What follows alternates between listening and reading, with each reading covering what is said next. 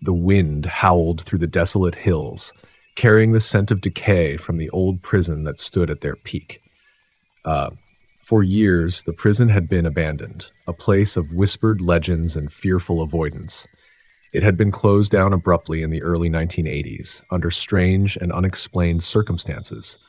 The last remaining guards had left in a hurry, not even bothering to clear out their personal belongings, and the cells still held the rotting remnants of life that had once filled them.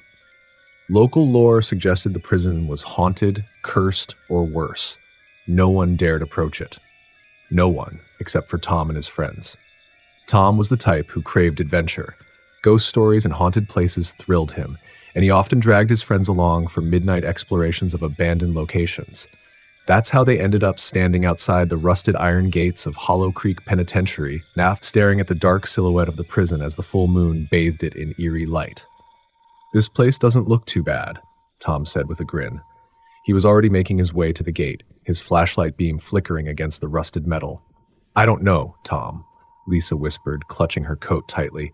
There's something off about it. Come on, you don't actually believe those ghost stories, do you? Tom scoffed. But even Tom couldn't deny the strange, unsettling aura surrounding the prison. The air felt heavier here, like it carried the weight of something old and malicious. The others exchanged uneasy glances, but they followed Tom inside as the gate creaked open under his push. The entrance yard was overgrown with weeds, and the prison walls loomed high above them, their bricks cracked and stained with years of neglect. Tom led the way, pushing through the remnants of a security door that hung loosely from its hinges. Inside, it was worse. The stench of mold and rot filled the air, and the floor was littered with old papers, rotting wood, and pieces of metal. This way, Tom said, motioning to the left as they made their way deeper into the building. His voice echoed unnaturally in the emptiness. They wandered through the desolate corridors, past crumbling cells that still held rusted cots and faded graffiti scratched into the walls. I bet this place is crawling with rats, Mike muttered, shining his flashlight nervously from side to side. Nothing but rats and cobwebs, Tom said with a smirk. But as they moved deeper into the heart of the prison, something began to change. The air grew colder, unnaturally so. Their breath became visible, fogging up in front of them, and the faint hum of the outside world seemed to vanish, leaving behind only an oppressive silence. Lisa grabbed Mike's arm, her eyes wide with fear. It's freezing, she whispered. It's just an old building, Tom replied, though his bravado was slipping. Even he could sense that something wasn't right. His flashlight flickered, and for a brief moment, the darkness seemed to press in on them from all sides. Then they heard it a faint, distant sound. It was hard to describe, almost like a low, raspy whisper carried on the wind. Tom stopped in his tracks, holding his hand up to silence the group. Did you hear that? Lisa asked, her voice trembling. I'm sure it's just the wind, Tom said, though he didn't sound sure at all. They moved forward cautiously now, the sound growing louder with each step. It wasn't the wind, it was more distinct, like the ragged breath of someone or something, lurking just beyond the edge of the darkness. The flashlight beams swept across the cells, revealing nothing but dust and decay. They reached a set of stairs leading down to the lower levels. Tom hesitated, we should check the basement, now, he said, but his voice lacked its usual confidence. Are you crazy? Mike asked. We should go back. This place isn't right. But Tom had already started down the stairs. The others reluctantly followed, the sense of dread tightening around them like a noose. The basement was pitch black, the air thick with dampness and the unmistakable stench of something long dead.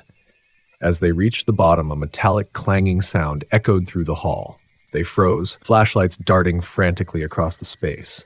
The source of the noise was a large metal door at the far end of the hall.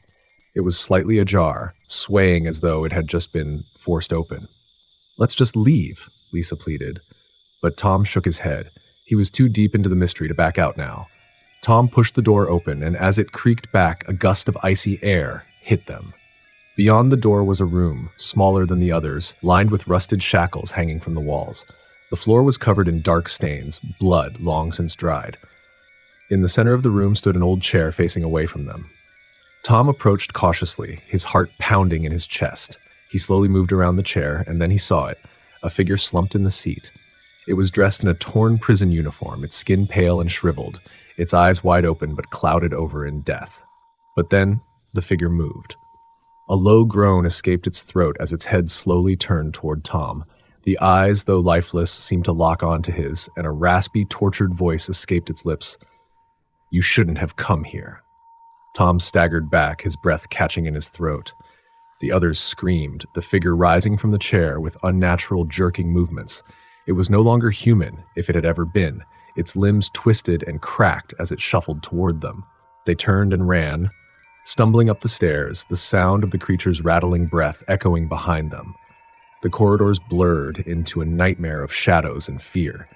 Behind them, the thing that had once been a prisoner followed, relentless and hungry.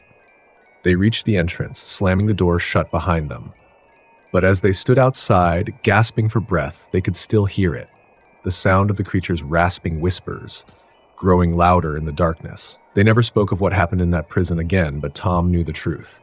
The prison wasn't empty, it never had been. Story number two. It was the dead of winter when I first heard about the old Oakwood Prison, an abandoned penitentiary on the outskirts of town. Locals would whisper about it, the ones who dared speak of it at all.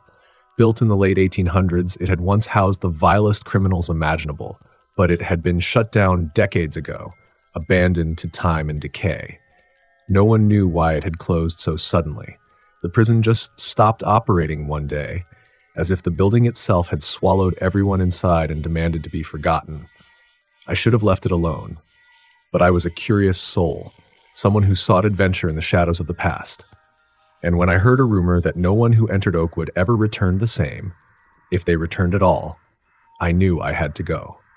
That night, armed with only a flashlight, a notebook, and a camera, I made my way through the thick, snow covered forest that surrounded the prison. The moon was a faint glow behind clouds, casting the bare trees in long, skeletal shadows.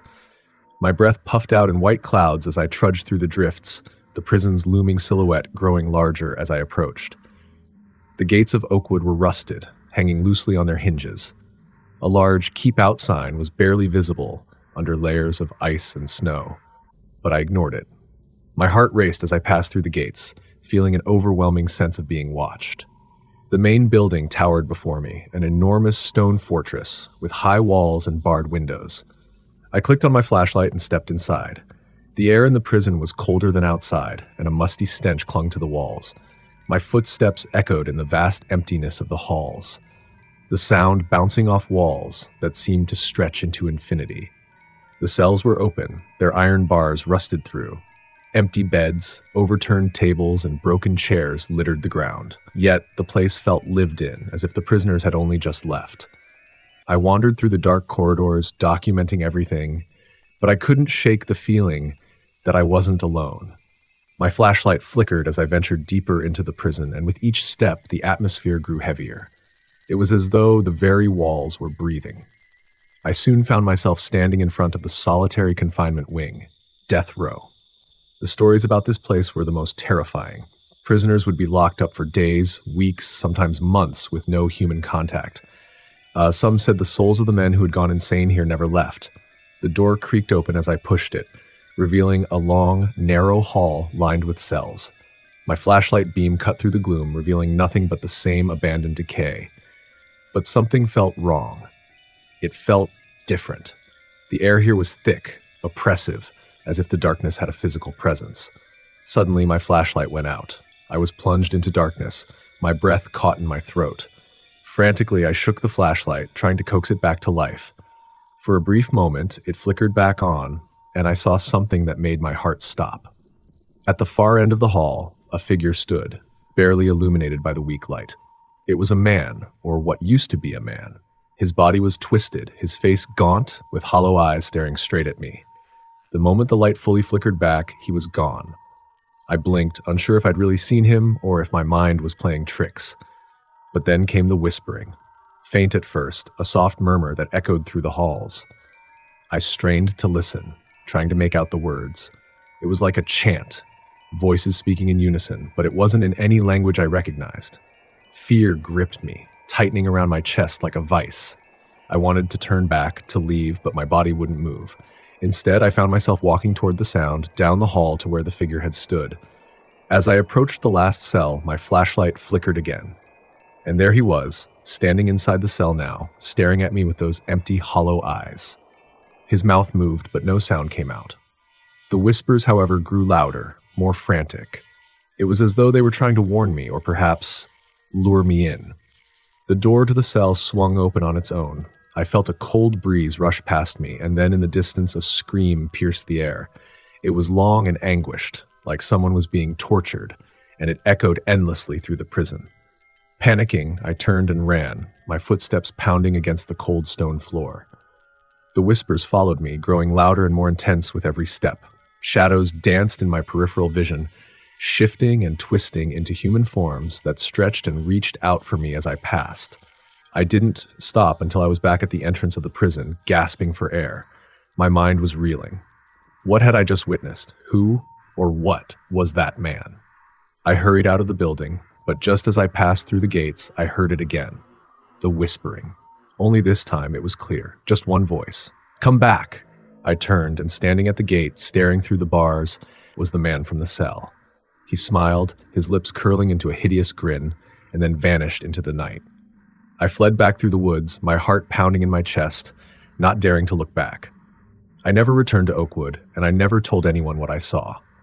But sometimes in the dead of night, I can still hear the whispers calling out to me, and I know deep down that they'll never stop. Oakwood won't let me forget. It never lets anyone forget. Some prisons, after all, are never truly empty. Story number three.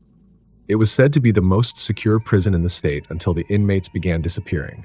No one escaped, at least not in the usual sense. They were simply gone. By the end of it, not a single prisoner or guard was left inside. Authorities abandoned the place, leaving it to decay. Now it stood as a hollow shell, surrounded by rumors of curses, haunting echoes, and things no one wanted to see. Twenty years later, four urban explorers, Mark, Jess, Andy, and Rachel decided they would be the first to document what lay inside. A storm rumbled overhead as they reached the rusted gates. Great night for a ghost hunt, Andy joked, hoisting his camera. Jess shot him a look. You better not screw this up. I want good footage. Rachel shivered as the cold wind blew through the cracked walls. I don't know. Something feels off. You always say that, Mark said. He flashed her a grin, but even he couldn't hide his unease. They stepped through the gates, the chains on the fence rattling like a warning. Inside, the prison smelled of mold and iron. Water dripped from the cracked ceiling, and a strange, cold mist lingered near the floors. The walls bore messages scratched into the concrete Don't trust it. It watches. Stay away from the cells. Andy pointed the camera down a long corridor. All right, everyone. Say hello to the internet's creepiest new obsession the empty prison. As they ventured deeper, their footsteps echoed unnaturally, as if someone or something was mirroring their every step. I swear I just heard something, Rachel whispered, gripping Mark's arm. It's just the echo, he muttered, though his voice wavered slightly. They reached the main block, where rows of cells stretched into darkness. Some doors hung open, others were sealed shut, but all of them carried an air of silent menace. The group paused in front of a particular cell. It looked no different from the others, but Rachel couldn't tear her eyes away. Guys, she said, her voice barely above a whisper, there's someone inside. They shined their flashlights inside. The beam revealed nothing but an old cot and a small metal toilet, yet Rachel swore she had seen the shadow of a figure. You're imagining things, Jess said, trying to sound casual, though she shifted uneasily. Suddenly, the door to the cell slammed shut with a deafening clang, trapping Rachel inside. Rach! Mark shouted, rushing to the door and yanking on it. It won't budge. Rachel stumbled backward, panic rising. Get me out. I don't want to stay here. Andy pulled on the door with all his strength, but it was useless. It's like it's welded shut. As they struggled to free her, the lights on their cameras flickered. The temperature dropped further, and something strange began to happen. The scratching noises started. Not from their side of the door, but from inside the cell. Rachel turned slowly, heart pounding. On the far wall, something invisible was etching words into the concrete, right before her eyes. Let me out! Her scream echoed through the entire block. Mark bashed on the door with a metal pipe, desperately trying to break it open. Hold on, Rachel, Just hold on. But as Rachel backed away from the wall, she bumped into something or someone. Cold hands gripped her shoulders. Slowly, she turned her head, her breath catching in her throat. A gaunt figure stood behind her, its eyes sunken and black as coal, lips pulled back in a grin that was too wide for its face. You shouldn't have come here, it whispered, its voice a dry rasp. Rachel's scream was cut off as the figure placed a finger to its lips. Shh, they'll hear you. On the other side of the door, the others heard nothing but silence. Jess shook her head frantically. Something's wrong. This place isn't normal. We need to go. We can't leave her. Mark protested. Before they could argue further, the door swung open by itself with a loud creak. Inside, the cell was empty. No Rachel, no figure, just the same old cot and rusted toilet. Andy backed away, his voice shaking. This, this isn't right. Mark stepped inside, looking around wildly. Rachel, where are you? Jess yanked on his arm. We need to leave. Now! The group hurried back down the corridor, but something was different. Every door along the way stood wide open, and whispers drifted from inside the cells. Words of warning, begging, and threats. Run! Don't look back. You're already dead. Their footsteps quickened as they reached the entrance, but the gates that had stood wide, wide open earlier were now chained shut from the inside. No way, Andy whispered in disbelief, rattling the chains. They were open when we got here. Then they heard it the unmistakable sound of footsteps. Someone or something was approaching from the dark. It wasn't just one set of footsteps, it was many. Mark shined his flashlight down the hall. Figures were emerging from the cells, silent, shadowy forms with hollow eyes, their faces twisted into expressions of rage, despair, and hunger. Run! Jess screamed. They turned and sprinted down the corridor, taking random turns, hoping to find another exit. But every path seemed to loop back to the same place the central block, where rows of empty cells awaited them. Andy stumbled, and as Mark tried to help him up, they both froze. A sound filled the air, echoing off the walls, the slow, deliberate dragging of chains. Do you hear that? Andy whispered. From the darkness ahead, a figure appeared. It was Rachel. Rach? Mark called out, hope flickering in his voice. But as she stepped closer, the hope drained from his face. This wasn't the Rachel they knew. Her eyes were black voids, and her mouth stretched into an unnatural smile. She dragged heavy chains behind her, their ends vanishing into the shadows. Why did you leave me? She whispered, her voice hollow and broken. Mark stepped back in horror. That's not her. That's not Rachel. Before they could react, the shadowy inmates closed in from all directions, surrounding the group. The air grew thick with the sound of rattling chains, whispered curses, and soft, sinister laughter. The flashlights flickered again, and then the world plunged into darkness. In the pitch black, they heard Rachel's voice one last time, soft and distant. You belong here now. And with that, the gates to the empty prison swung shut, sealing them inside forever. The authorities who came days later found no sign of the explorers. Just like the prisoners before them, they had vanished without a trace. All that remained were their cameras, lying in the dust near the chained gate. The final recording ended with one chilling phrase etched into the wall It never lets you leave. Story number four. The old penitentiary had been abandoned for over 50 years, standing like a silent monument on the outskirts of a forgotten town. Hollow Oaks Penitentiary was its name, a place of misery and punishment, known for its brutal history and for the warden who ran it with an iron fist, Warden Lyle Matheson, some said the prison was cursed, that those who entered were never quite the same. Uh, the locals knew better than to step foot anywhere near it after dark, claiming the place was haunted by those who never left, including the infamous Warden Matheson himself. But not everyone believed in ghost stories. Three college students, Jake, Sarah, and Chris, had heard the legends about Hollow Oaks, and they were intrigued. Ghost hunting was their hobby, and they'd visited countless haunted sites, but nothing as notorious as the prison. So when the opportunity presented itself, they made the drive out to the forgotten penitentiary, determined to document the truth. Looks creepier than I imagined, Sarah said as they parked in front of the crumbling structure. The prison loomed above them, its broken windows like hollow eyes staring out over the overgrown courtyard. Rusted bars, collapsing towers, and the stench of decay greeted them as they stepped closer. Jake, the boldest of the group, grinned. This is going to be epic. We'll capture something real tonight. I can feel it. Chris, the tech geek of the trio, set up his camera and equipment as they approached the main entrance. Just be careful. This place is old, could collapse at any moment. The heavy metal doors screeched as they pried them open, revealing a dark, yawning interior. Their flashlights cut through the gloom, illuminating a vast, decaying lobby where the faint outlines of old desks and security checkpoints could still be seen. A chill hung in the air, but it was more than just the cold. There was something oppressive, like the walls themselves were watching. Let's get started, Jake said, already pushing forward. The trio moved through the decrepit halls, their footsteps echoing eerily in the silence. Broken cells lined both sides, their doors hanging from rusted hinges. Faint graffiti covered the walls, some of it recent, some of it decades old.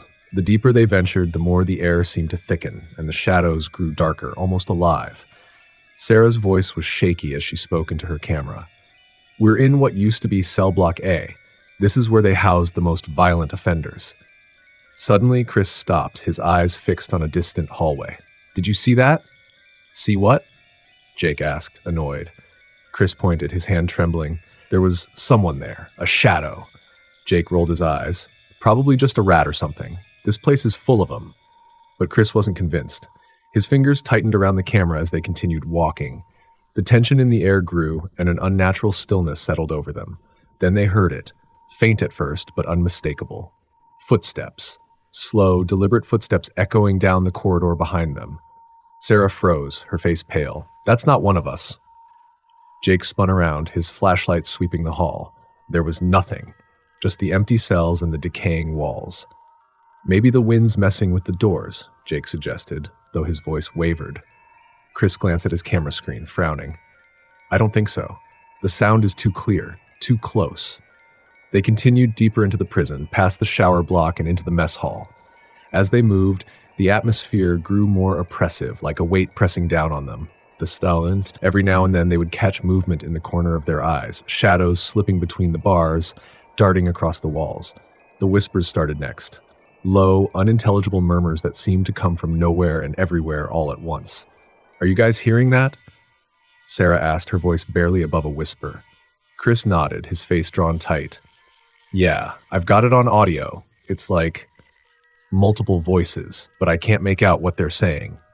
Jake, though shaken, tried to keep his composure. It's just the wind. Old buildings like this always make weird noises. But deep down, he knew it was more than that. They reached the warden's office. The door, once a symbol of authority and control, now hung loosely on its hinges. They stepped inside, and the room felt different, heavier, colder. A large desk sat in the middle, covered in dust, with old files scattered across the floor. Behind it, a large, faded portrait of Warden Matheson stared down at them, his eyes cold and unforgiving even in death. This was his office, Jake said softly. Warden Matheson ran this place like a dic- dictator. Some say he was worse than the prisoners themselves. Sarah shuddered, her eyes fixed on the portrait. Do you think he's still here? Before Jay could answer, the temperature in the room plummeted. Their breath misted in front of them as a strange, creeping darkness began to gather in the corners of the office. It coalesced, forming a shape, tall and looming, standing behind the desk. Chris stumbled backward, his camera shaking. What the hell is that? The figure took a step step forward, its outline becoming more defined. The smell of decay filled the room, and with it came a feeling of pure, overwhelming dread. The shadowy form was unmistakable. The tall, broad shouldered frame of Warden Matheson, still dressed in his dark uniform, his eyes glowing faintly in the gloom. You're not supposed to be here, a voice rasped, though no mouth moved. It echoed in their minds, paralyzing them with fear. Suddenly, the door slammed shut behind them trapping them in the room with the ghostly warden. The walls seemed to close in, the oppressive weight of the prison's long dead souls pressing down on them. The shadow moved closer, its presence suffocating. Leave, or stay forever. The voice hissed. Panic set in. Chris fumbled for the door, but it wouldn't budge. Sarah screamed, her flashlight flickering as the darkness swirled around them. Jake tried to force the door open, but it was no use. Then, just as suddenly as it had begun, the shadow dissipated, melting back into the darkness. The door swung open, and the weight lifted. They didn't hesitate.